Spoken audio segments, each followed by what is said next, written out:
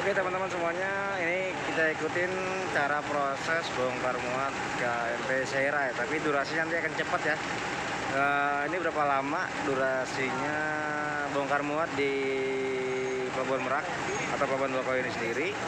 Kita lihat aja nanti berapa lamanya bongkar muat ya. Oke teman-teman, saksikan terus, tonton terus. Jangan lupa sekali lagi di like and subscribe channel saya dan dukung terus channel saya.